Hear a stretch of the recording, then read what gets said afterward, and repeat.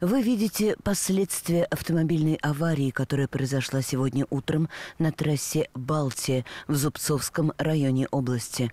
Около 8 часов 20 минут на 191-м километре автодороги М9 Балтия водитель автомобиля «Лада Гранта» по неустановленной причине выехал на сторону, предназначенную для встречного движения, в месте, где это разрешено, и совершил столкновение с двигающимся во встречном направлении, в направлении города Москвы, автомобилем ВАЗ-2705.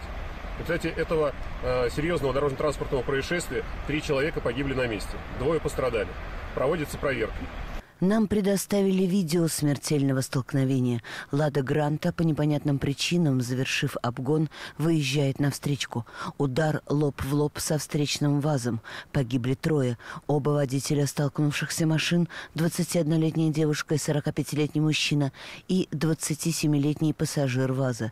Еще двое, 21-летняя пассажирка Лады и 45-летний пассажир ваза доставлены в больницу с различной степенью тяжести травм травмами. По данным ГИБДД, девушка, управлявшая «Ладой», всего два месяца назад получила права.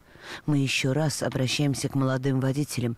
Не превышайте скорость. Будьте предельно внимательны в условиях непогоды и скользкой дороги.